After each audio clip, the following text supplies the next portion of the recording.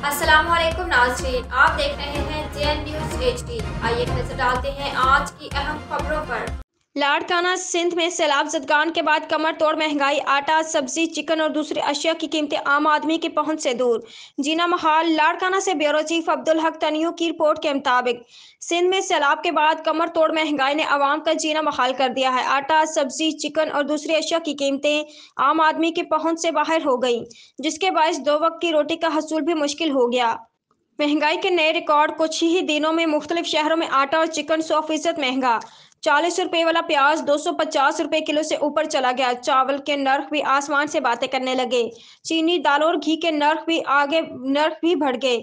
सिंध भर में आटे की फ़ी किलो कीमत में दस रुपए का इजाफा हो गया है और चक्की के आटे की फ़ी किलो कीमत तारीख की बुलंद सतह एक सौ साठ रुपए तक जा पहुँची है।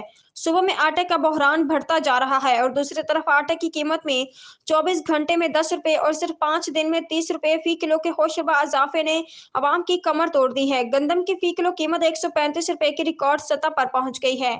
चक्की के आटे की फ़ी किलो कीमत तारीख की बुलंद सतह एक सौ साठ रुपए तक जा पहुँची है, जबकि फाइन और मिल का आटा भी महँगा होकर एक सौ पैंतालीस रुपए फ़ी किलो से तजावज कर गया है। आटे की कीमत में चौबीस घंटे में दस रुपए फ़ी किलो का इजाफा हो रहा है।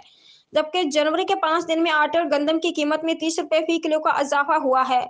मुर्गी का गोश्त छह सौ रुपए किलो कर दिया गया है। सिंध भर में महँगाई भरने सलाह मुतासरी की अमदाद न करने पर लालू राय में शहरियों ने एहतजाज किया।